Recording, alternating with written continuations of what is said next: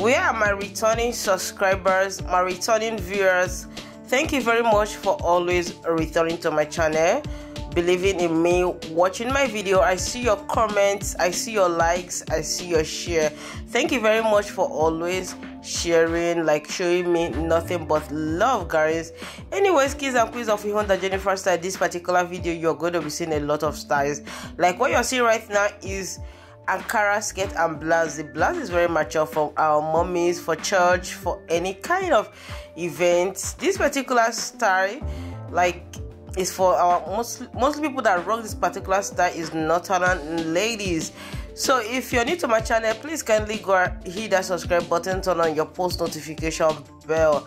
That will enable you to be the very first person to get notified each time i upload future videos. I upload videos on this channel multiple times daily and this channel is all about promoting African clothes styles is all about showcasing styles you can design with lace like what you're sewing, showing you beautiful styles, like kind of combination with beautiful gele head wrap.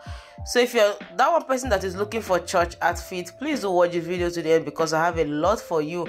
Or you're looking for that child dedication, wedding as a wedding guest, you're looking for lace styles, even Ankara please do watch this video to the end because i have a lot for you. Just know that i am not a fashion designer of any of the style in this video. I only promote styles. I only bring styles together to showcase here on youtube for those people that always have trouble with what is trending or what to design with ankara and other fabrics. Anyways kids and queens of the Ihunda Jennifer style I give credit to all my creative fashion designers, African fashion designers,